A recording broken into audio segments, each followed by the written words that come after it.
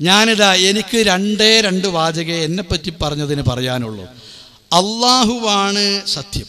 എന്റെ പേരിൽ ഈ കള്ള ആരോപണം പറയുന്നവനെ കയ്യോടെ പിടിച്ച് അവൻ എവിടെ നിന്ന് കിട്ടി അതിന് തെളിവെന്ത് എന്ന് പറഞ്ഞ് എന്റെ അടുക്കലേക്ക് കൊണ്ടുവരി. എന്റെ അടുക്കലേക്ക് വരണ്ട. ഞാൻ ഇവിടേക്ക് പെരിന്തൽമണ്ണയിലേക്ക് വരാം. എന്റെ ബഹുമാന്യനായ ഹംസ സുല്ലമിയോടും അതുപോലെ തന്നെ മുഹമ്മദ് അലി മൗലബിയോടും അതേപോലെ തന്നെ അബൂബക്കർ സാഹിബിനോടും ഒക്കെ ഇവരുമായി ബന്ധപ്പെട്ടാൽ മതി. ആ ആരോപണമുള്ളവർ. എന്റെ പേരിൽ പറഞ്ഞു നടക്കുന്നത് ഞാൻ സംഘടന പിടിച്ചടക്കുന്നു എന്നാണ് ഒന്ന്. ഞാൻ ഈ സംഘടന പിടിച്ചടക്കിയിട്ടില്ല.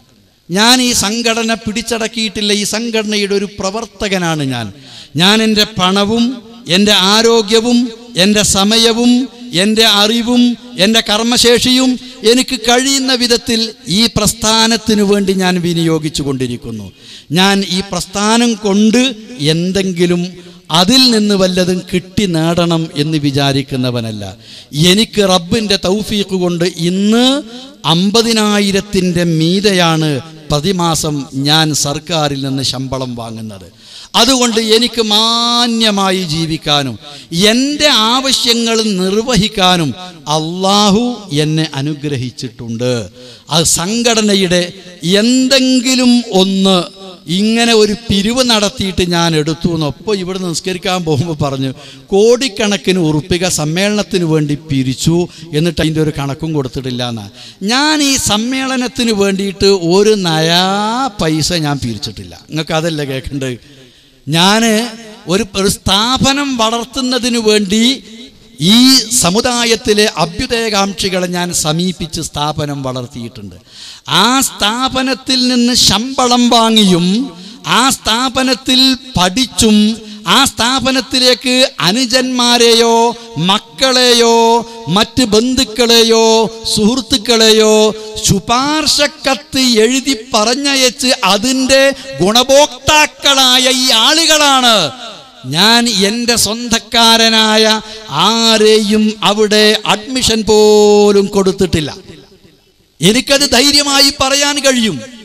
എന്റെ സ്വന്തം ജ്യേഷ്ഠന്റെ മക്കൾക്ക് വേണ്ടി അപേക്ഷ കൊടുത്തപ്പോഴും ഞാൻ മാനേജ്മെന്റ് കോട്ടയിൽ നിനക്ക് വേണ്ടി ശുപാർശ പറയില്ല എന്ന് പറഞ്ഞവനാണ് ഞാൻ. മാനേജ്മെന്റ് കോട്ടയിലല്ലാതെ കമ്മ്യൂണിറ്റി മെറിറ്റിൽ സീറ്റ് കിട്ടി മെറിറ്റിൽ സീറ്റ് കിട്ടി. അങ്ങനെ രണ്ട് കുട്ടികൾ അവിടെ പഠിച്ചു പോയിട്ടുണ്ട്. ഞാനുമായി ബന്ധപ്പെട്ടത് അങ്ങനെ മാത്രമേ ഉണ്ടാവുകയുള്ളൂ. നേരെ മറിച്ച് എന്റെ പേരിൽ വിമർശിച്ച് നടക്കുന്നവർ അവരുടെ അനുചരന്മാരെയോ അവരുടെ മക്കളെയോ അതല്ലെങ്കിൽ അവരുടെ സുഹൃത്തുക്കളെയോ അവർക്ക് വേണ്ടപ്പെട്ടവരെയോ അവിടേക്ക് കത്ത് കൊടുത്തോ ഫോൺ ചെയ്തോ പറഞ്ഞ് ആ സ്ഥാപനത്തിന്റെ ഗുണഭോക്താക്കളായ ആളുകളാണ് അവർ. ഞാൻ ആ സ്ഥാപനത്തിലേക്ക് കടന്നു വന്നതിന് ശേഷം ആ സ്ഥാപനത്തിന്റെ വണ്ണ വലിപ്പം എത്ര ഉണ്ടായി എന്നുള്ളത് ഞാൻ വരുന്നതിന് മുമ്പുള്ള ജാമിയാനത് വിയയും ഞാൻ അവിടെ ചാർജ് എടുത്തതിന് ശേഷമുള്ള ജാമിയാനത് വിയയും ഒന്ന് തുലനം ചെയ്തു നോക്കിയാൽ മതി. അന്ന് ആറും മൂന്നും ഒമ്പത് ഏക്കർ വിസ്തീർണമുണ്ടായിരുന്നത്. ഇന്ന് മുപ്പത്തിരണ്ട് ഏക്കർ വിസ്തീർണം വിസ്തീർണമായി കിടക്കുന്ന വിശാലമായ ക്യാമ്പസാണ്. അന്ന് രണ്ട് മൂന്ന് കെട്ടിടങ്ങൾ ഉണ്ടായിരുന്നത് ഇന്ന് ധാരാളം കെട്ടിടങ്ങളുള്ള ഒരു ക്യാമ്പസാണ്. അന്ന് അഞ്ചാറ് സ്ഥാപനങ്ങളുള്ളത്. ഇന്ന് പത്ത് പതിനേഴ് സ്ഥാപനങ്ങളുള്ള ഒരു വിദ്യാഭ്യാസ സ്ഥാപന സമുച്ചയമായി മാറിയിരിക്കുകയാണ്. ആ സ്ഥാപനത്തിന്റെ ഇന്നത്തെ ആസ്തി പരിശോധിച്ചാൽ ഒരു മുപ്പത് നാൽപ്പത് കോടി രൂപയുടെ അതിന്റെ കെട്ടിടങ്ങളും ഭൂമിയും അതിന്റെ സ്വത്തുക്കളും മൊത്തം വില കൂട്ടിയാൽ അതിനു മാത്രം ഉണ്ടായത് വെറുതെ ഉണ്ടായതല്ല. ഞാൻ ഉണ്ടാക്കി എന്ന് പറയുന്നില്ല. ഞാനും കൂടി പ്രവർത്തിച്ചപ്പോൾ ഉണ്ടായതാണ്. ഞാൻ ആ ജാമിയ നദവിയയിൽ നിന്ന് ശമ്പളം വാങ്ങി അവിടെ പോകുന്നതിന് എനിക്കറിയാം ചില സ്ഥാപനങ്ങൾക്ക് വേണ്ടി പിരിവെടുക്കുന്നതിനോ അതിന്റെ പ്രവർത്തനങ്ങൾക്ക് മേൽനോട്ടം വഹിക്കുന്നതിനോ സർക്കാരിൽ നിന്ന് ശമ്പളം വാങ്ങുന്ന ചില ആളുകൾ ഇരുപത്തയ്യായിരവും അമ്പതിനായിരവും ഒക്കെ അങ്ങനെ ഓരോ പേരിലും വാങ്ങുന്നത് എനിക്കറിയാം. എന്നിട്ട് അവരാണ് ചാരിത്രം പ്രസംഗിക്കുന്ന വേശ്യകളെ പോലെ അവരാണ് ഇങ്ങനെ ഇല്ലാത്ത കള്ളം പറഞ്ഞു നടക്കുന്നത്. എന്നെ കൊണ്ട് പറയിപ്പിക്കരുത് എന്നേ ഞാൻ പറയുന്നുള്ളൂ. വേറെ കേരള നെതുപത്തിൽ മുജാഹിദീന്റെ ഈ സമ്മേളനത്തിന് ഞാൻ അഞ്ചു പൈസ പിരിച്ചിട്ടില്ല. കാരണം ഇപ്പോൾ ഇവരുദ്ദേശിക്കുന്നത് എന്നെപ്പറ്റി ഇങ്ങനെ പ്രചരിപ്പിച്ച് ഞാൻ നിർജീവമായി ഒരു മൂലയിൽ ഇരുന്ന് എന്റെ കർമ്മശേഷി നഷ്ടപ്പെടണം എന്നെ പുറത്താക്കാനും എന്നെ ഒറ്റപ്പെടുത്താനും എന്നെ വകവരുത്താനും കഴിഞ്ഞ അഞ്ചാറ് വർഷം നിഗൂഢമായി പരിശ്രമിച്ചവർ അവരാണ് ഒറ്റപ്പെട്ടത് അവരാണ് പുറത്തു പോയത് അവരാണ് നിന്ദ്യരായത്. സ്വന്തം യൂണിറ്റിലും സ്വന്തം നാട്ടിലും സംസ്ഥാനത്തൊട്ടാകെ മുഖം കെട്ടവർ അവരാണ്. ഞാനിന്നും എന്റെ മാന്യതക്ക് കളങ്കമേൽക്കാതെ അബ്ദുറഹ്മാൻ സലഫിയുടെ ജീവിതം ഇതൊരു ഒരു പരസ്യമായ ആരുടെയും മുമ്പിൽ തുറന്നു വെക്കാവുന്ന ഒരു പുസ്തകമാണ്. എന്നെ അക്ഷരം പ്രതി പെറുക്കി പരിശോധിച്ചുകൊണ്ട് പ്രൂഫ് നോക്കി നടക്കുന്ന ചില ചെറുപ്പക്കാരും അവർക്ക് ഓശാന പാടുന്ന വേറെ ചിലരുമൊക്കെ ഉണ്ടല്ലോ എന്നിട്ട് എന്താണ് നിങ്ങൾക്ക് കിട്ടിയ സ്പെല്ലിംഗ് മിസ്റ്റേക്ക് അതുമായിട്ടൊന്നുണ്ട് വാ. അതുമായിട്ട് നേരിട്ട് വാ. ഇവിടെയുള്ള ഈ സംഘടനാ നേതാക്കളുടെ അടുക്കലേക്ക് വാ. ഞാൻ അവരുടെ അടുക്കലേക്ക് വരാം. ഒന്ന് തെളിവ് താ എന്നേ എനിക്ക് പറയാനുള്ളൂ. ഇതാണത്രേ ഒരാരോപണം. ഞാൻ ഈ സംഘടന പിടിച്ചടക്കിയിട്ടില്ല. എന്റെ നിയന്ത്രണത്തിലല്ല. ഇതിന്റെ പ്രസിഡന്റ് ടി പി ആണ്.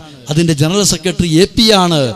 പത്ത് പതിനൊന്ന് സെക്രട്ടറിമാരുടെ കൂട്ടത്തിൽ ഒരു സെക്രട്ടറി മാത്രമാണ് ഞാൻ. മറ്റുള്ളവരെ പോലെ എന്റെയും അഭിപ്രായം ഞാൻ പറയാറുണ്ട്.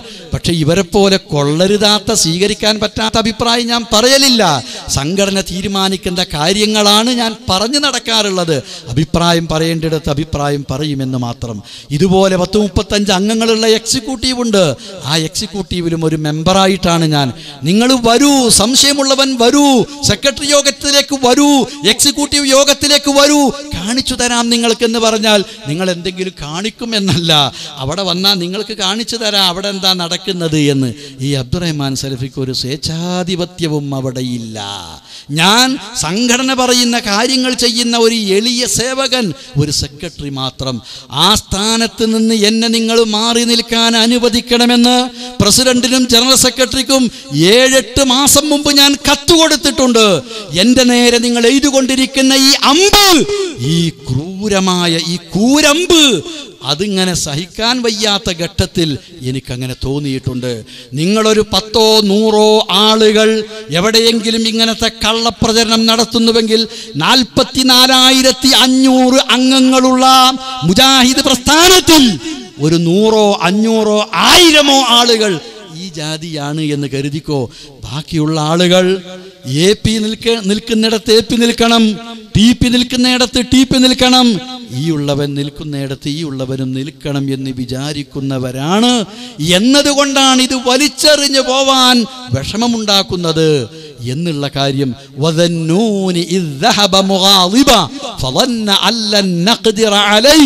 യൂനുസ് നബിയെ പറ്റി അല്ല പറഞ്ഞത് ഓതുന്ന ആളുകളാണല്ലോ നമ്മൾ അതുകൊണ്ട് ഇനി നിങ്ങൾക്കൊക്കെ തിരഞ്ഞെടുക്കാതെ തള്ളിക്കളഞ്ഞുകൂടായിരുന്നോ?